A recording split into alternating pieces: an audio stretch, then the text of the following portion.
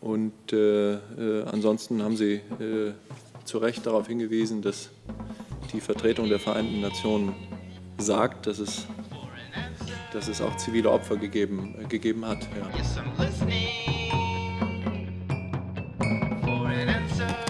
Ans Verteidigungsministerium und Auswärtige Amt nochmal zu Afghanistan. Da ist diese Woche bei einem Drohnenangriff da sind 15 Zivilisten und 13, also 15 Zivilisten getötet worden und 13 Menschen verletzt worden.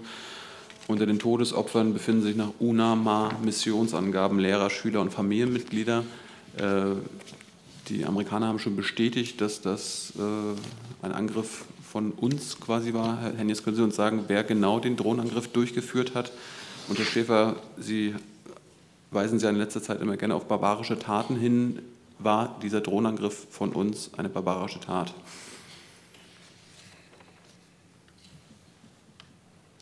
Wer möchte also, anfangen? Ähm, ja, Herr Jung, ähm, kurz gesagt, von uns ein Drohnenangriff. Sehen Sie es mir bitte nach. Äh, weder die Formulierung noch den Sachverhalt möchte ich hier nutzen oder bestätigen. Sie wissen, dass wir mit unseren Streitkräften im Rahmen der internationalen Operation Resolute Support vor Ort vertreten ist. Das ist eine reine Ausbildungsmission. Wir haben vorhin hier ausführlich über die Unterstützung Afghanistan geredet. Das ist ein Bereich davon und ansonsten ist von meiner Seite nichts da hinzuzufügen.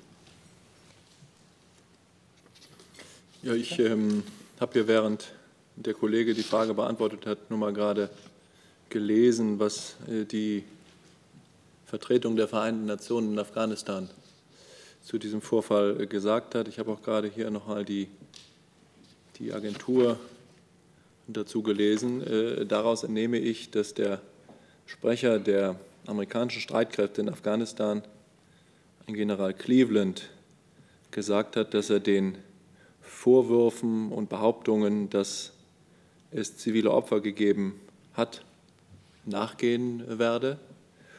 Und äh, äh, ansonsten haben Sie äh, zu Recht darauf hingewiesen, dass die Vertretung der Vereinten Nationen sagt, dass es, dass es auch zivile Opfer gegeben, äh, gegeben hat. Ja. Äh, nur, ja. Wie bitte? Es hat nur zivile, zivile Opfer gegeben.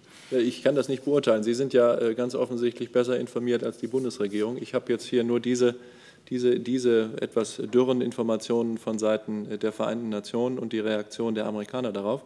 Ich vertraue darauf, wir vertrauen darauf, dass ähm, es gelingen wird, diesen Sachverhalt aufzuklären. Die Vereinten Nationen haben ausweislich dieser Nachricht äh, angekündigt, dass sie eine äh, unabhängige äh, Untersuchung dieses Vorfalls wünschen.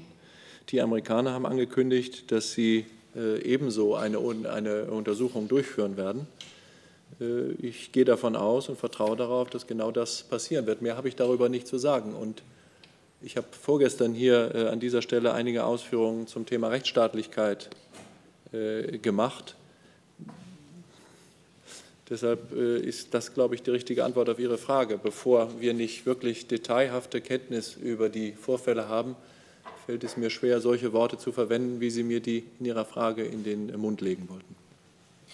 Ja, die, gleichen, die, gleichen, Details, also die, Details fehlen doch bei den anderen äh, Geschehnissen in und um Aleppo doch auch.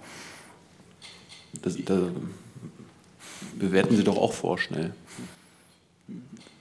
Ja, also wenn das Ihr Eindruck ist, dann äh, kann ich nur sagen, dass ich jedenfalls eine andere Einschätzung habe, dass es eine solche Vielzahl von aus der Luft und am Boden äh, ausgeführten, äh, ausgeführten Angriffen auf äh, Ostaleppo gibt, dass die Qualifikation, die die Bundesregierung dazu vorgenommen hat, äh, aus meiner, aus unserer Sicht dazu durchaus angemessen ist.